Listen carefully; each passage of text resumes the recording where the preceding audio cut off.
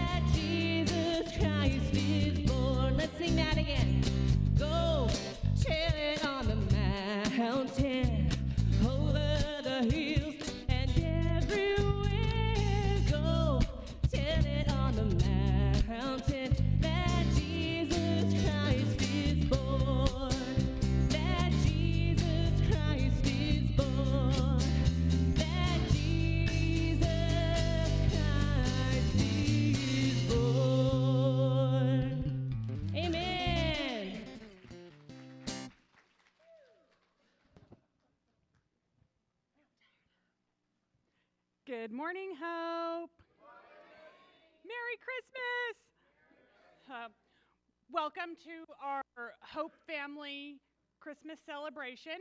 Thank you guys so much for coming today. A couple of quick commercials before the announcements.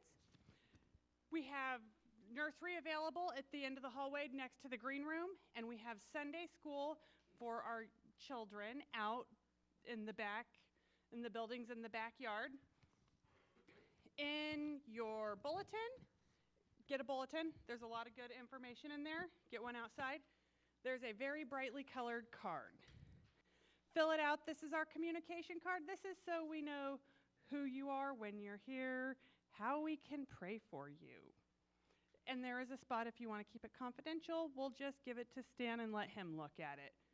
This is how you can communicate with our staff.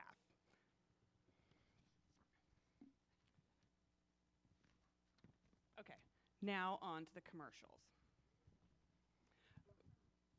On the ministry table outside, there are, it's got all of our happenings, everything that we have going on out there. And we do have a new ministry that is looking for a few committed men. There's a sign up sheet out there. It's Beacon, so go and look out there at it. Also, coming up, we have our three favorite P's and the prayer chain. The prayer chain is January 4th and 5th. Hope prays for 24 hours straight for whatever is on your heart. Um, we'll start on the 4th and all through the night, all day, all through the night. And then on the 5th, we're going to meet in the evening at 6 o'clock for pizza, praise, and prayer. So sign up out there. It's a great time. It is a fantastic experience. And now we're going to get up and say Merry Christmas to at least three people.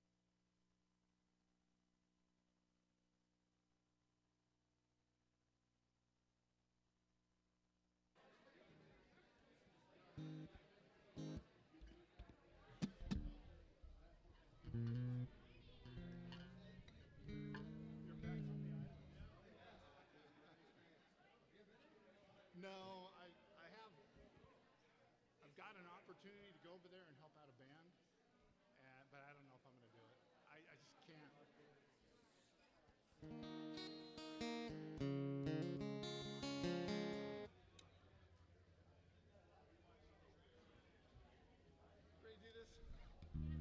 Good morning. So, the coolest thing I think about our church is literally the meet and greet when I get to hear everybody just the fellowship and the friend making right now. It's it's almost like I don't even really want to get up here and play. I want to hear just the friendship and the fellowship. So what we're going to do right now um, is right where you are, wherever you're standing, whatever you're doing, we're all going to just turn around and just sing joy to the world. You ready to do this? Yeah. Joy to the world, the Lord is come. Let earth receive her King. Let every heart prepare him room. And heaven and nature sing, and heaven and nature sing, and heaven and heaven and nature sing. Joy to the world, the Savior reigns. Let men their songs employ, while fields and floods, rocks, hills, and plains repeat the sounding joy, repeat the sounding joy, repeat, repeat the sounding joy. He rules the world with truth and grace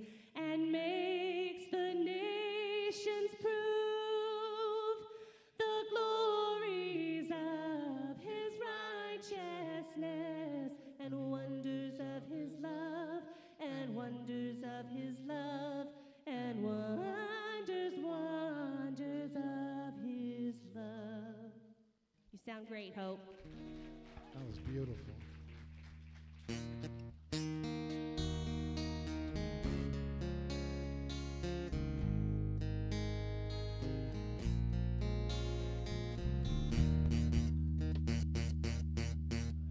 What key is that? that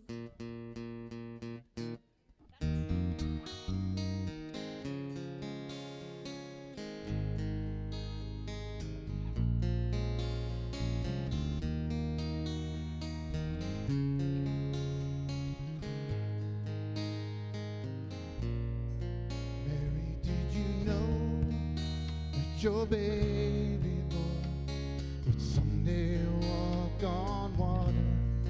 Mary, did you know that your baby boy would save our sons and daughters?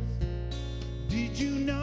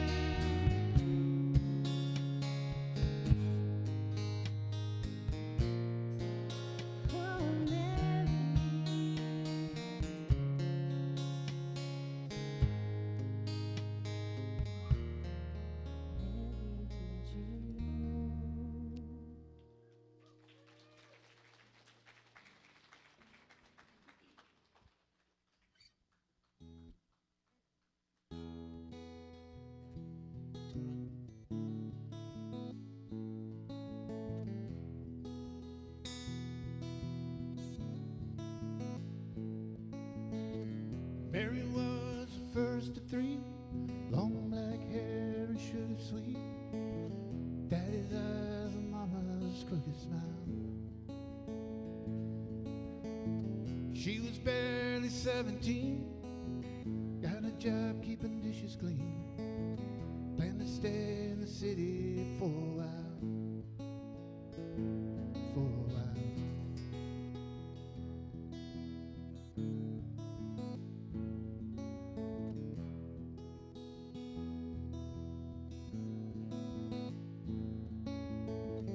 Joseph ran the lumber yard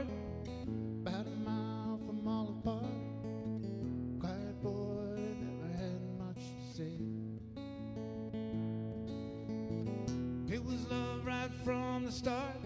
Bought a ring, Mary's heart. Hopes for a black kid someday. Kid someday.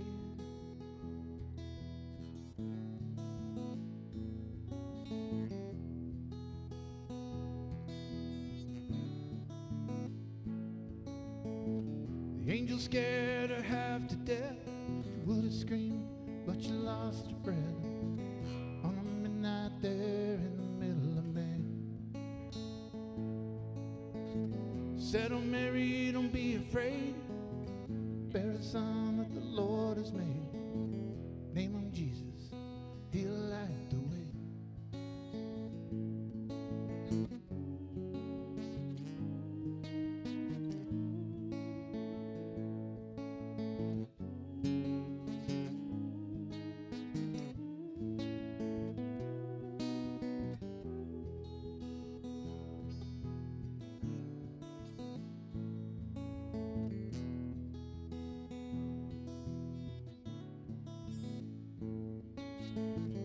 packed the clothes, you made the plans. You had to go to Bethlehem, but there was nowhere left to stay. So in a barn she gave birth to the King of Kings, the Lord of Earth. Just a little bitty thing sleeping on the hay, sleeping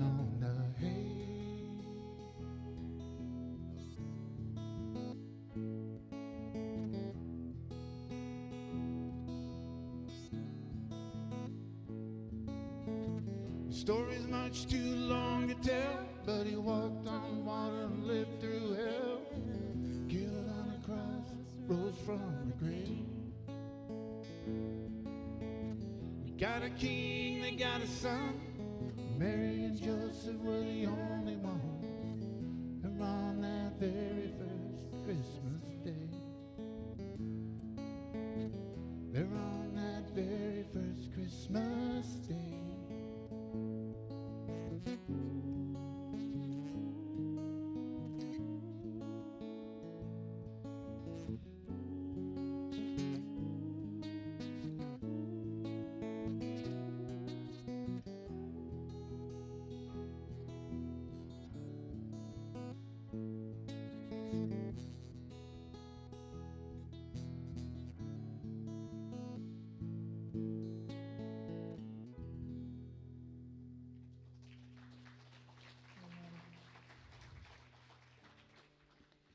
Today, we celebrate the birth of Christ, a light born into a very dark place, the hope of the world. And at this time in our service, as we take communion, we remember the baby that grew up and lived a sinless life, taught us how to love, and showed us what love looks like by giving his life for us. Killed on a cross, the baby who came to save us died for us. And as you take communion this morning, I encourage you to think about that sacrifice, the love poured out for you.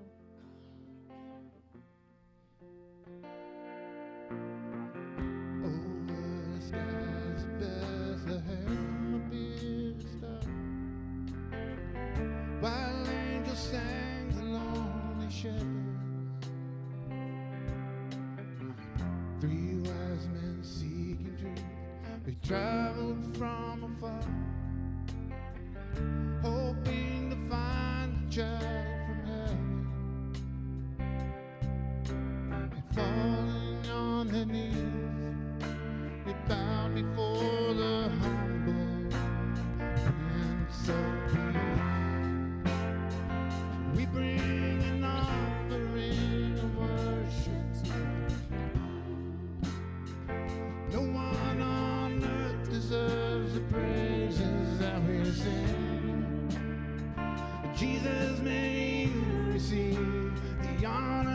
you're due.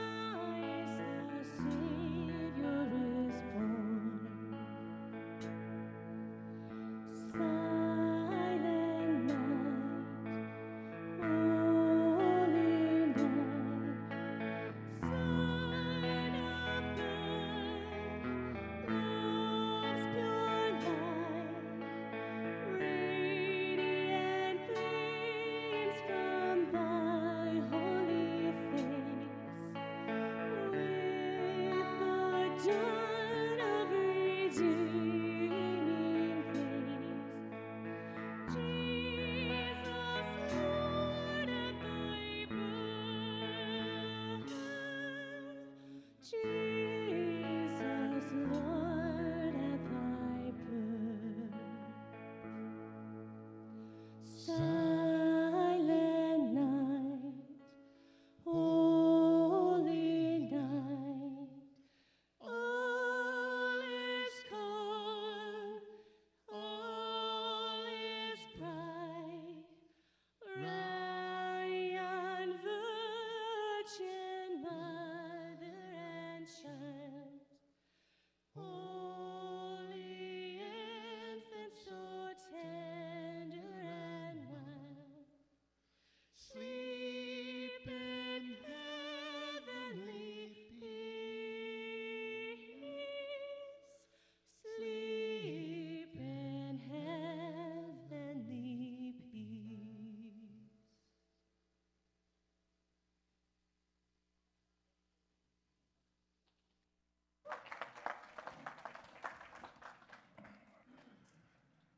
Hey, Hope Church, second service. You glad to be here today? Amen. It's good to see all of you, and we wish you a very Merry Christmas. And thank you if you're joining online and, and in our worship celebration on the grid. We're glad that you're with us. Um, let's give it up for the most dangerous uh, worship band on the West Coast, Hope Rising. Thank you, gang. After services, I'll be a little aloof from you all. I've, I've got some nasty bug that's been going around. You know, the Bible says they had all things in common, uh, but I don't think you want this bug that I got. Besides, you go to church and get sick from your pastor, that's got to suck, right? And so, anyway, mental hugs to everybody and a very Merry Christmas. Um, if, if you look inside the bulletin, we've been putting down uh, where we're at in our regular tithes and offering. Uh, last month we did better, and I want to thank everybody for that. I know you're doing the best you can. Uh, also, you can see this month we're lower, we're about round half. There's a board on the hallway uh, where uh, Gina did a great job of showing, giving you kind of a view of where everything goes, so you can look at that. And you'll notice if you look at the board, now our need is 13.5 uh, instead of 12.7, and that's because of ministry. There's no raises, no bonuses. Mortgage is still the same. But it's a good problem. It's more ministry needs. And uh, so I wanted you to know about that. Um, and so you can pray about it and do what you can. The other thing, I told you a couple months ago, and I wanted to do it one last time before the end of the year, uh, that someone, one of our members said, for anyone who gives a $1,000 gift for the building fund, he would match that. And uh, so far, three families have given. $1,000. So that three went to 6,000. Uh, you see how I figured that out really quick? I'm good with math. And uh, so that's awesome that uh, if, if you're able, uh, feel free to do that. He said you can only give one gift of a thousand. Uh, you can't give multiple, but you could like give it to someone else and they could give it, I was thinking, but no, I'm just kidding. anyway. Um, I want to echo Meg a little bit about the prayer chain because, like she said, it's always awesome. God does something special every time we do it. It also bonds us. If you've, if you've never done it, it's pretty cool praying around the clock and getting a call from one of your brothers and sisters at Hope and they say, Have a great time with the Lord. And then you do your 30 minute segment and then you call someone that's next to you on the list and you say, Have a good time with the Lord. And then we gather together the next day at 6 for the three P's, and, and it's always a great time of fellowship. But I like this one because it's the beginning of the year, and it's a great time to thank God for what He's done in the past year and pray for the upcoming year. Even if you had a tough year, I know God's not through with you. You know why? You're still here. He's not done with you. You're vertical. And so uh, you want to thank God and, and then look ahead. I don't like to make a plan and then say, God, bless my plan. I like to say, God, lead us. Open the doors that you want us to walk through. I want to get in on what God is blessing, not just ask Him to bless what I want to do. I want to get in on what He's blessing. Do surfers make waves? No, they hunt and look and find the waves. Only God makes the waves, and they ride what God does. That's what we want to do in a prayer chain is ask God to open doors for us and lead us into this new year.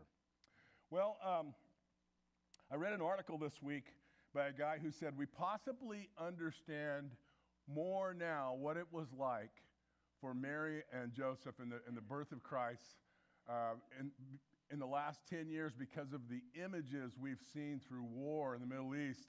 Uh, we understand probably better what it was like more than 100 years or so because we can see these images so easily now in the news. And he talked about uh, an image that hit him uh, a few years ago. He saw a woman and a, a man fleeing from Iraq, and they were refugees. And the woman was pregnant and on a donkey, and she had her little cart that she would sleep on. She had pots and pans and her precious possessions that she could bring and food. And then the man was anxiously leading his family out, trying to go to safety because of decisions that were made halfway around the world. And uh, that's what it was like the first Christmas. Uh, Mary and, and Joseph were leaving a place. They were going uh, to their hometown, to Bethlehem, because of attacks, because of something that had been called, because of a decision that had been made. And then they're ultimately going to have to be refugees and go to Egypt because of the threat of murder from King Herod. They would be refugees and end up in Egypt where they'd be accepted. Bethlehem was the place of birth, but it was only a stopping point for registration and the birth. Uh, then they would move on. They may have met thieves along the way. That happens now in places of the world where thieves will, will make people pay and then they may let them move on. Uh, we do know it was a dangerous time, and uh, this was not random. The place that Jesus was born and the way that he was born wasn't by accident, it wasn't by random. God was behind it. It was from a force of God behind them. You might say the force was with them. Um, even though there was danger around, people would come to understand that this king, this different kind of king, Messiah, has come for us. You have tribal chiefs mentioned in the Bible. In Luke 2, we don't have it on your outline, but it's in the context of a verse we're going to look at in a minute. It says, In those days, Caesar Augustus issued a decree that a census should be taken of the entire Roman world. This was the first census that took place while Quirinius was governor of Syria and everyone went to his own town to register. And a little later in chapter 3, verses 1 and 3, it says, In the 15th year of the reign of Tiberius Caesar, when Pontius Pilate was governor of Judea, Herod, tetrarch of Galilee, his brother Philip, tetrarch of Iturea and Trachonitis, and Lysanias, tetrarch of Abilene, that's not Abilene, Texas. Uh, during the high priesthood of Annas and Caiaphas, the word of God came to John, son of Zechariah, in the desert. These tribes are descendants of Isaac. The tribes of Iraq are descendants of his brother Ishmael. Both are sons of Abraham. But the promise uh, given, the Messiah promise was given through Abraham and Isaac and Jacob and Joseph, that family tree. And um, there was, just as there's international forces sometimes that come together to fight a, a common enemy in the world, it was similar that, similar that way when Jesus was born. The Romans would bring in people uh, from different countries, conquered countries, and put them in to march with their empire. And at the time of Jesus, there's foot soldiers that were Huns and Gauls and Kurds and Syrians, Picts and Celts. And this was a northern alliance that marched all over Judea under Roman leaders. The decisions were made far away in the center of a vast empire. In those days, Caesar Augustus issued a decree that a census should be taken of the entire Roman world. Ordinary people, like the carpenter of Nazareth, are fleeing on donkeys because of decisions made a half a world away. This was the world into which Jesus was born. Now, the birthplace of Jesus in Bethlehem was most likely a cave. Uh, caves are still in the mid- Middle East in the, in the hillsides, and they were used for animals, they were used for storage, they were used for living space. And so it's not an accident that he's born in this place. Um, he's come for us in a new way, and God, th- that he was born in this way is significant. It was not the innkeeper's fault that there was no room in the inn. That was all part of the plan of God. The shepherds were told, and I think you have this on the back of your bulletin this day, this very day in David's town, your Savior was born, Christ the Lord, and this is what will prove it to you. You will find a baby wrapped in cloths and lying in a manger. It's called David's town. David was born there, and David would uh, frequently go there and use Bethlehem, which is south of Jerusalem. And David was, it was prophesied to David that through his family tree, a Messiah, a Savior would come. And so they're part of that lineage of David, and they're coming to their hometown. And the shepherds are told, You're going to find a Savior who's born in this manger. He's, he's come for us. And the proof was a baby wrapped in cloths lying in a manger. It's 750 years after a prophecy by a guy named Micah that foretold that the ruler of Israel would come uh, from Bethlehem, and that is unfolding and it's happening. And they forgot about that prophecy, but some astrologers would come along from the east following a star and ask King Herod about it because they knew about that prophecy. The scripture nowhere mentions a stable, just a manger. The church of the Nativity in Bethlehem is built over a cave that was identified in the second century as the birthplace of Jesus. The birthplace of Jesus in such a place is not an accident. A damp, dirty cave, the smell of manure, the sound of animals. And he came as a king, but a different kind of king. And I want to show you four signs that this birth that took place in this cave, there's four signs from that. One is a sign of poverty. The coming of, the, of Jesus, born in a cave, in a manger, a feeding trough, is a sign of poverty. No birth could have so identified with the poor than the birth of Jesus. We spend billions of dollars to celebrate the birth of Christ, but Jesus was born in surroundings that were only for the absolutely poor. God cares for the poor. God identified himself with the poor when he first came, when he first sent his son, and he was born in a cave. His whole life would be a life of poverty. He goes around doing ministry and uh, he's, he's has no, no place to lay his head, he says himself. His coat was his coat during the day, his blanket at night. And uh, friends would share homes with him or different things, but he just went around this preacher who, who lived in poverty. When he was presented in the temple as a baby, which is what they did, kind of like a dedication, um, the parents offered a dove sacrifice, which is the gift of the poor. As a workman in Nazareth, he spoke about patches and garments and women sweeping the house to find a little coin and having to borrow food when unexpected guests arrived. That was everyday illustrations Jesus used from growing up in this life of a peasant. As a preacher, he owned nothing, uh, but he gave and he gave and he gave, and he had nowhere to lay his head. Paul wrote in 2 Corinthians 8 9, Our Lord Jesus Christ, though he was rich, yet for your sakes he became poor, so that you, through his poverty, might become, become rich. He has come for us. He has come for us. You're not too poor for Jesus. Uh, some people categorize people based on their net worth, how much money they have, what they look like, right? Christians never do that, right?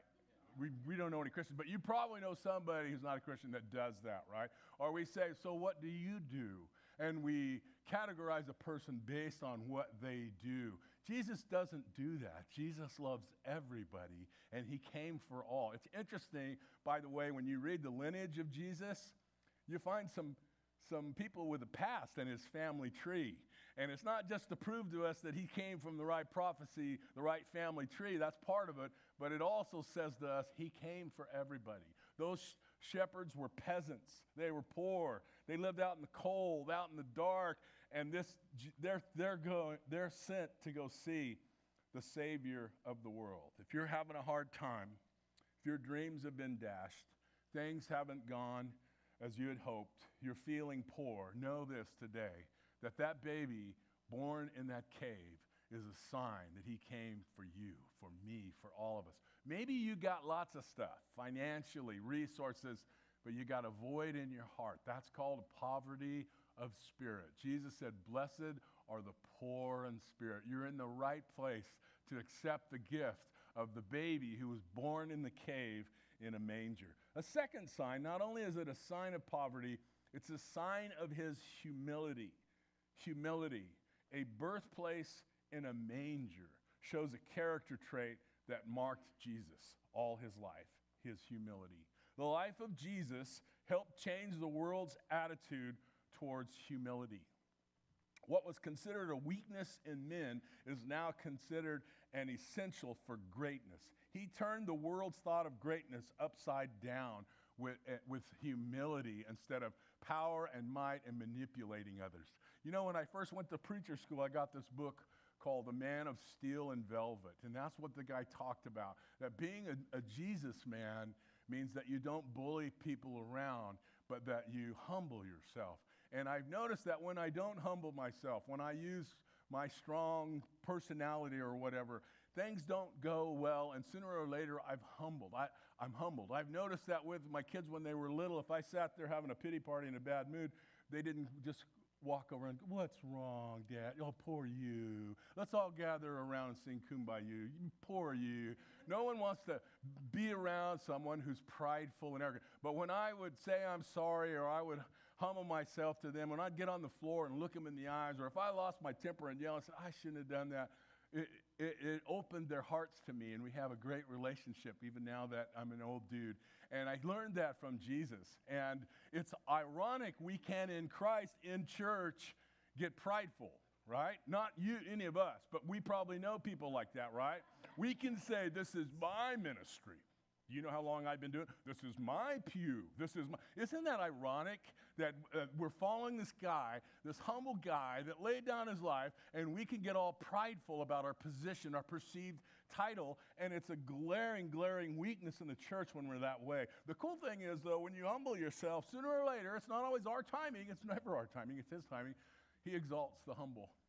He exalts the humble. You hang in there, you keep serving humbly. Sooner or later, He is always faithful to exalt. And He says it in many places in Scripture, talks about it in James, that God exalts the humble. Uh, Jesus said in Matthew 23 12, For whoever exalts himself will be humbled. It's a promise. And whoever humbles himself will be exalted. That's a promise. The life of Jesus is the life of a great man who never exalted himself. The Apostle Paul quoted in Philippians 2, some consider it as a song. Verses 6 through 8 Christ Jesus, being in the very nature of God, did not consider equality with God something to be grasped. That means to be held on to. He didn't hold on to, well, I'm deity, I'm in heaven, that's nothing's going to change that. He didn't hold on to that, but instead, Paul writes, he but made himself nothing, taking the very nature of a servant, being made in human likeness, being found in the parents as a man, he humbled himself and became obedient to death, even death on a cross. And then God, it goes on to say that God, wherefore God highly exalted him and bestowed upon him the name which is above every name, that at the name of Jesus, every knee shall bow and every tongue shall confess that Jesus Christ is Lord. Those in heaven, on earth, and under the earth. He says angelic beings will say Jesus is Lord. Humans on earth will say Jesus is Lord. Demons under the earth will say Jesus is Lord. And he, he became Lord by humbling himself. We proud moderns can learn a thing or two from Jesus. Amen? When we get prideful, we've left the way of our leader. The greatness is seen in humbling, serving others. And if I just want to say, if you're serving and you're not getting a lot of accolades or pats on the back, you just remember God sees what you're doing. You stay in there. You're rich in heaven, and that's all that matters. Jesus talked about that, storing up riches in heaven. Human beings, we make mistakes or we don't recognize what people are doing sometimes. And some work behind the scenes, and you're doing that for God and you're following Jesus. The manger reminds us that greatness lies in humility. He has come for us. He's not a prideful guy that's in a throne saying, You better get it right. He came for us and lived humbly and said, Follow me. Number three, the, the cave is a sign of his identity. The manger is a sign of his identity. The shepherds were told that they would recognize the Savior when they found a newborn babe wrapped in strips of cloth lying in a manger. That was the sign of his identity. The sign of the Savior is a feeding trough, a manger. And the reason for this runs through the Old Testament over every generation. You remember when Adam and Eve sinned, and then it talks about their son Abel, he brought a sacrifice. What kind of sacrifice? From his flock. He brought a sacrifice from the flock and he sacrificed it as a sin offering to God. Noah took a lamb after the flood and he, he after it had subsided and the animals and birds are multiplying, and he sacrificed to God. Abraham built an altar and he sacrificed a ram that was provided as a sign of his dependence on God. The Israelites sacrificed lambs in Egypt and smeared the doorposts with blood so that death would pass over them when they were leaving Egypt. Moses gave the people of Israel instructions of how to sacrifice a lamb for their sins each year. And then I love this in John 1 it says that John the Baptist sees Jesus, and when he saw him, he says, Behold, the Lamb of God who takes away the sins of the world. You kind of you kind of wonder what's he talking about if you don't know the history. You know, John's standing there, this guy from the wilderness, total ridge guy, as we said the other day. He, he's a tough guy, and he goes, Look, he sees Jesus, this regular, ordinary carpenter from Nazareth, because look, the Lamb of God that takes away the sins of the world. What are you talking about, John? John, when he saw him, he just didn't see Jesus. He saw the sacrificial lamb, the Passover lamb. He knew the history of lambs having their throats slit and pouring their blood out. And he looked at Jesus and he saw the sacrificial lamb that has come to, to give his blood for the sins of all the world. It's a sign of his identity uh, when he's born in this feeding trough, in this manger. The prophet Isaiah had foretold that the Savior would be a, a lamb without spot and blemish as our sacrifice. 700 years, 750 years before this. I have this verse on your outline.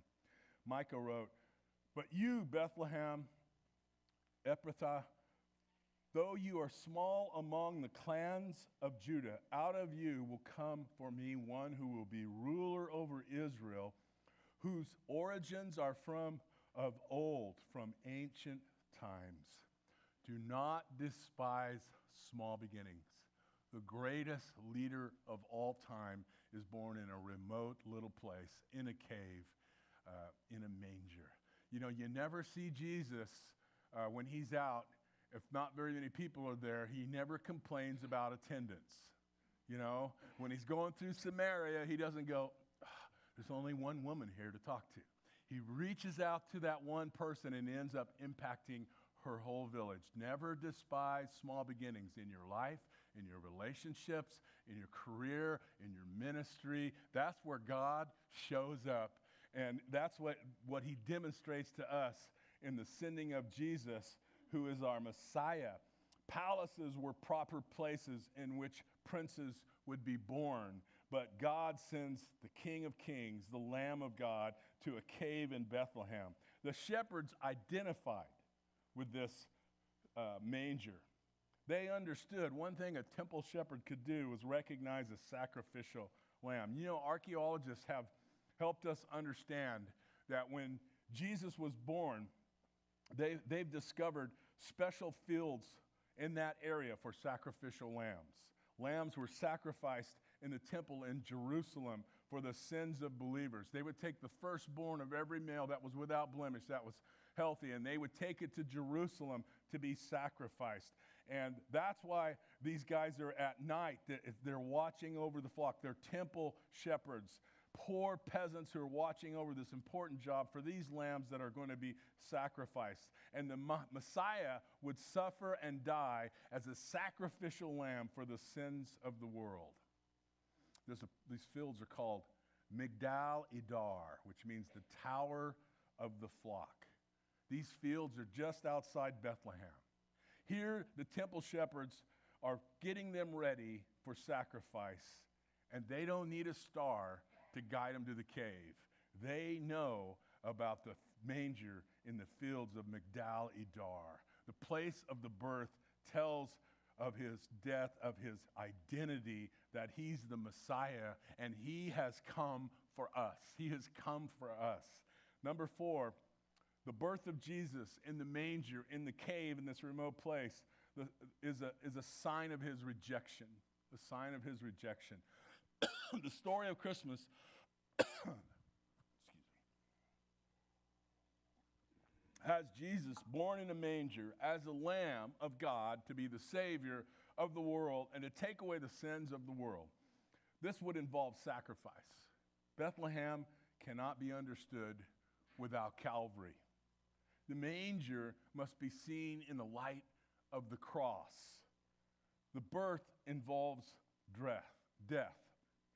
The true story of Christmas is tough and real and factual. And there's things like angels and bright stars, shepherds, wise men, yes, but there's also whips and nails and soldiers and a betrayer and thorns and a cross. Jesus was to be despised and rejected throughout his life. It says that in Luke 2 7, and she gave birth to her firstborn son, and she wrapped him in cloths and laid him in a manger because there was no room for them in the inn. There was no room for Jesus in the inn. And that's a symbol of what would happen his entire life, that there's no room. That's a symbol what's, that still happens today. Bethlehem rejected him as a baby when Herod uh, murdered all the male children.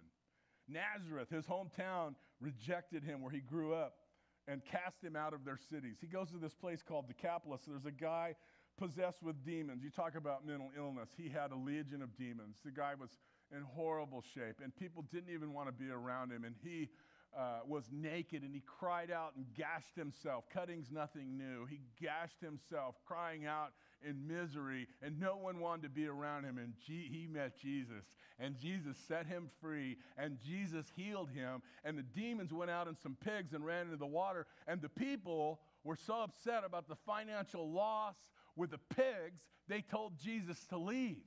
Leave us, Jesus leave us. They didn't care about this, this whole life that's been changed. They rejected the healer because of money. People still do that. People still want Jesus to leave or don't want to pay attention to Jesus. John 1:11 says, "He came to his own people and they received him not." Israel rejected him when, they, when he wouldn't fit their concept of a military leader to throw off the Roman yoke. You know, I love in uh, Luke 24, I have one verse from there, but I want to talk about the context a little bit. It's pretty cool because Jesus has died on the cross, he's risen from the grave. He appears to these guys on this road and they don't realize who it is. And he asks them, What are you discussing together as you walk along? And they stood still, their faces downcast, it says in Luke. And one of them, named Cleopas, asked him, Are you the only one visiting Jerusalem who does not know the things that have happened there in these days? What things? He asked. About Jesus of Nazareth, they replied. He was a prophet, powerful in word and deed before God and all the people. The chief priests and all the rulers handed him over to be sentenced to death, and they crucified him. But we had hoped that he was the one who was going to redeem Israel. And what is more, it's the third day since all this took place. In addition, some of our women amazed us. They went to the tomb early this morning, but didn't find his body. They came and told us that they had seen a vision of angels who said he was alive. Then some of our companions went to the tomb and found it just as the women had said, but they did not see Jesus. It's kind of humorous if you think about it because they're telling Jesus about Jesus and they don't know. and Jesus goes, Yeah, I'm tracking. I got it. I got it. And then he makes this statement, uh, uh, verse 26 Oh, foolish men and slow of heart to believe in all the prophets have spoken. Was it not necessary for the Christ to suffer these things and to enter into his glory? You turn that sentence around, he says, It was necessary for the king, for the Messiah to suffer. It was foretold through the prophets. Uh, all these scriptures pointed to it's all about Jesus. And they say, We're not our hearts, later when they realize it was the Lord, we're not our hearts burning within us as He opened to us the scriptures. And, and, and they get it that it's all about Him. His suffering was not accident, it was all part of the plan of God for the redemption of mankind. He was rejected all his life. And today, multitudes go on their way, careless of this news that one is coming to the world to redeem them and give them the free gift of sins forgiven, of eternal life and hope of heaven. They remain caught in the computer bleep of million cash registers the, and the ch- charging of billions of dollars to commercialism. They're too busy to see the Christ child, the hope of, man, of mankind. The purpose of his coming is lost under piles of crumbled wrapping paper and the urgency of being ready for the best Christmas sales. You know, you can actually give a present to Jesus on Christmas. And you know what it is? Just spend some time with Jesus. You know, he actually wants to spend time with you and me. Isn't that a mind blower?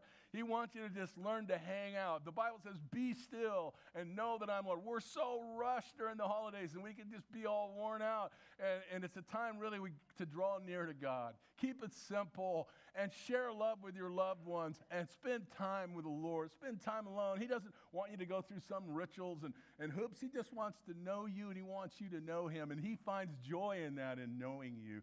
And that's a great Christmas present that you and I can give to Jesus this Christmas. It's his birthday, right? And so we can do that. We can reject them just like they did. You know what touches my heart when you read the end of John when he's before the high priest and they ask him about what he taught, and he goes, I taught in the open. Everybody knows what I taught. And this guy hits him because he talked that way to the high priest. And Jesus says, if I'm, if I'm lying, then go ahead and strike me. But if I'm telling the truth, why do you strike me? And that, that tells me that he felt that blow to his face. It hurt. And then he goes through this terrible uh, time of them mocking him, spitting on him, punching him, beating him, stripping him. And that's just the night before, and he goes through it again with the Roman soldiers. And he's whipped.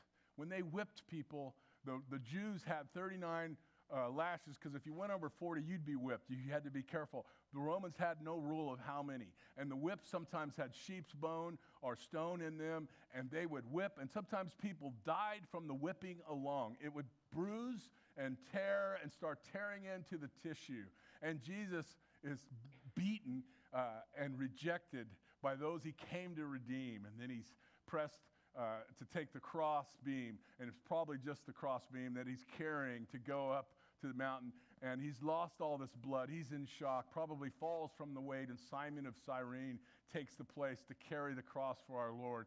They get up there, and they lay him down on this crossbeam, and a soldier skilled in the dreadful art of finding a hole between the wrist bones hammers a nail through the wrist. And then he goes to the other side, leaving enough room for flexibility. He hammers another nail in the wrist of our Lord.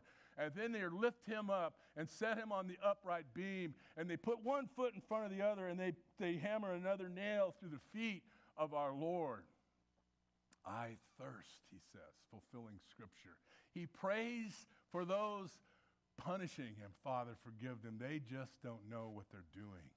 And he's going up and down. Uh, doctors and medical experts say that uh, the, the, the pain in his feet uh, would, would hurt so bad when he pushed up, he'd come down. The pain in the nerves of his hands would shoot through his arms, explode in his brain. So he'd go back down. The pain in his feet, he would go up and down, up and down, up and down.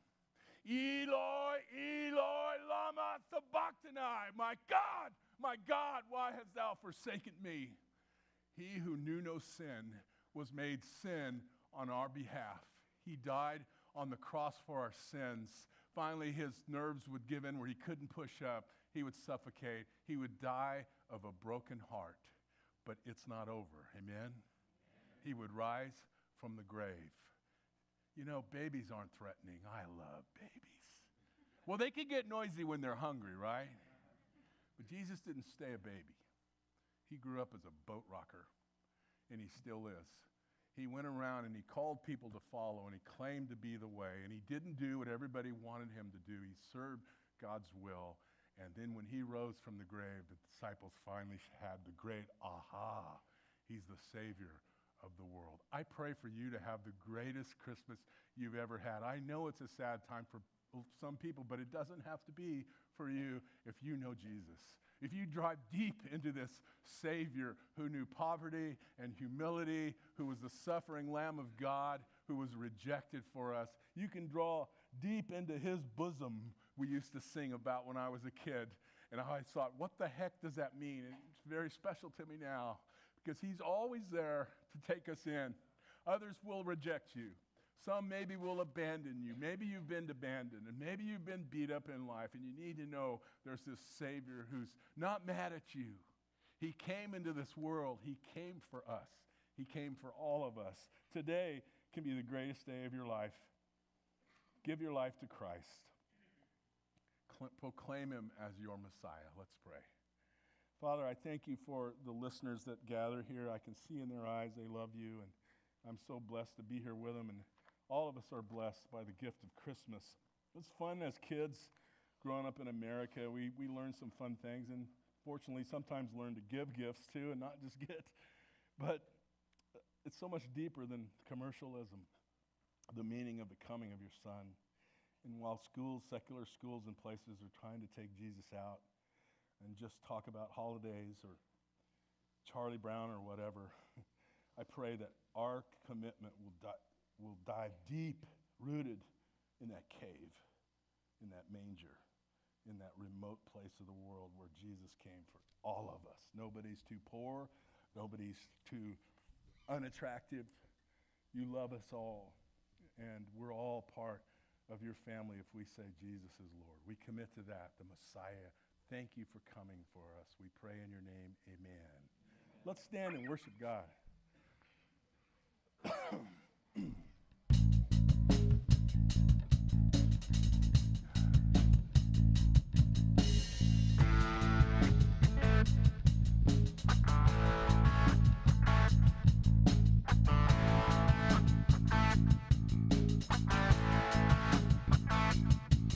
Gather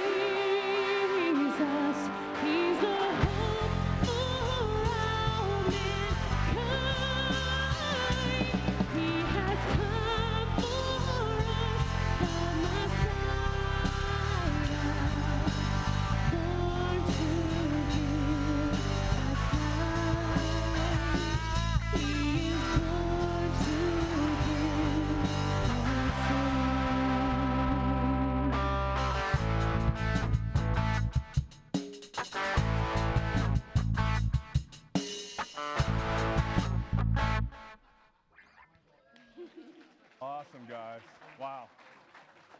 Now it's time to pray for our offering. Let's pray. Father, thank you. I get to work at a church where we celebrate giving.